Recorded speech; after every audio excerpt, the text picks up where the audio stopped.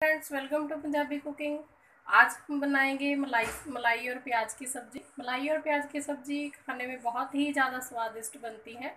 और अगर घर में जब भी कोई सब्ज़ी ना हो खाने के लिए, झटपट से बन के तैयार हो जाती है और आप इसको रोटी के साथ, पराठे के साथ, नान के साथ, किसी के साथ भी खा सकते हैं। खाने में इसको सभी के साथ ये बहुत ही ज़्यादा अच्छी लगती है। और मैंने आठ प्याज लिए हैं। और सभी प्याज मैंने, एक प्याज को चार हिस्सों में काट लिया है। ये देखिए, एक प्याज मैंने आपको दिखाने के लिए रखा है। चार, दो हिस्सों में काट के इसको हम बीच में से ऐसे अलग कर देंगे। ये भी हम इसी तरीके से काटेंगे। आप सभी प्याज इसी तरीके से काट सकते हैं। और इस इसके अलावा हमने लिया है एक चम्मच धनिया पाउडर। एक चम्मच गरम मसाला पाउडर, एक चम्मच लाल मिर्च पाउडर, एक चम्मच नमक। नमक आप स्वाद के अनुसार डाल सकते हैं। एक चम्मच हल्दी पाउडर, दो बड़े चम्मच ऑयल एक चम्मच, एक कप फ्रेश मलाई, एक कप पानी।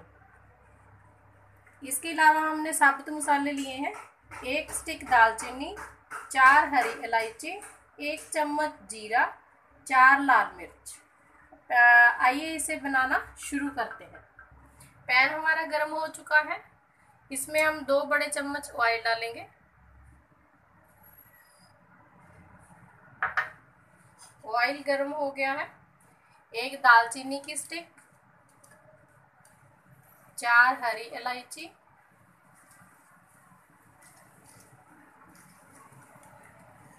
एक चम्मच जीरा पाउडर चार रेड चिली इसको हम थोड़ा सा फ्राई करेंगे। अब हम इसमें प्याज डाल देंगे। अच्छे तरीके से हिलाएँगे प्याज को।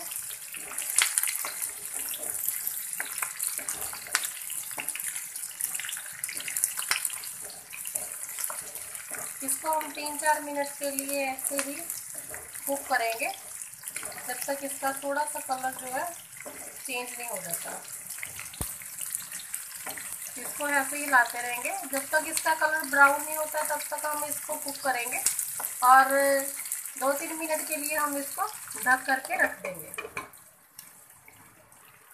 तीन मिनट हो चुके हैं। आइए चेक करते हैं। प्याज हमारे कुक हो चुके हैं।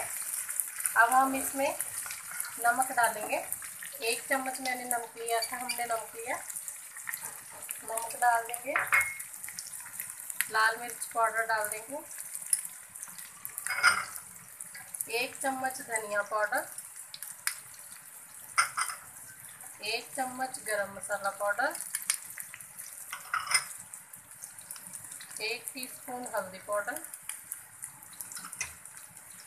इन सभी को अच्छे तरीके से मिक्स करेंगे।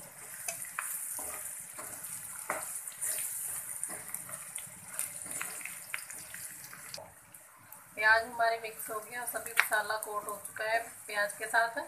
अब हम इसमें मलाई ऐड करेंगे।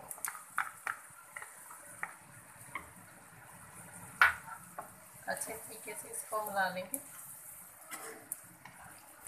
मलाई की सब्ज़ी वाकई खाने में बहुत ही ज़्यादा क्रीमी और बहुत ही ज़्यादा स्वादिष्ट होती है।